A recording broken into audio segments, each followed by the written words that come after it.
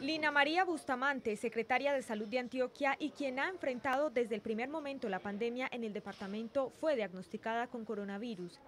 La jefe de la cartera de salud está entre los casos nuevos reportados en los últimos tres días en el departamento. Fuentes allegadas a la funcionaria aseguraron que presenta síntomas fuertes y que se encuentra aislada en su vivienda. La Secretaría de Salud de Antioquia confirmó que ya se realizó el cerco epidemiológico a sus familiares y colegas para descartar otros casos de infección.